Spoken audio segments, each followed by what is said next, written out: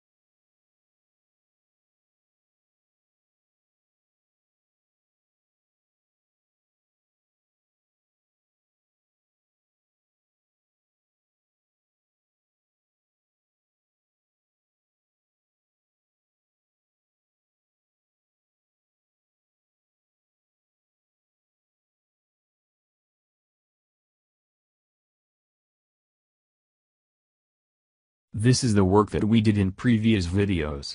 Now we need to pass the user ID to new component using props. I passing the ID and route and we will get ID where I called the edit user component.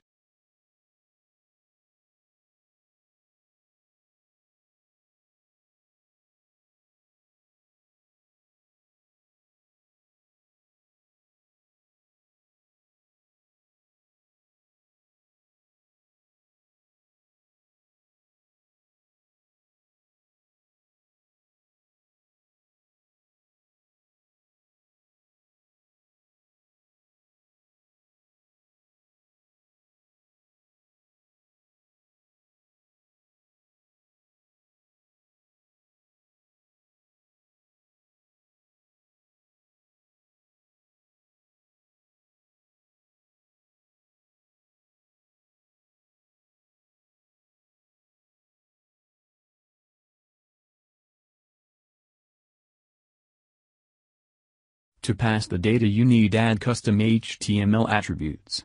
I am making custom attribute like as ID. And after I will be received in the component using props. Props Vue.js predefined method to get the data from outside the component. Currently, I am receiving ID that's why I am putting in the array.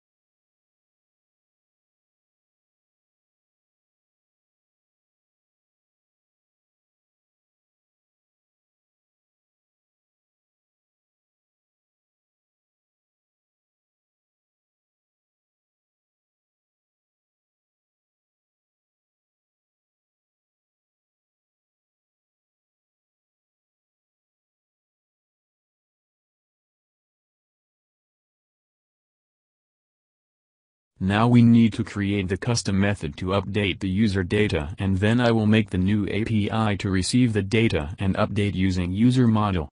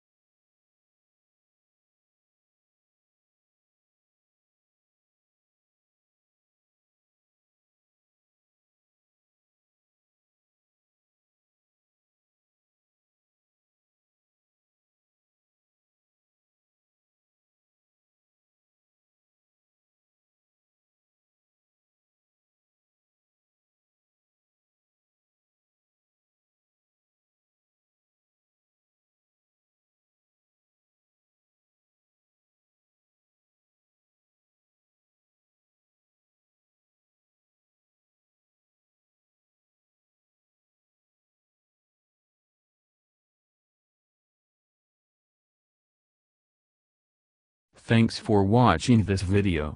Don't forget to subscribe my channel and press bell icon to get latest uploads.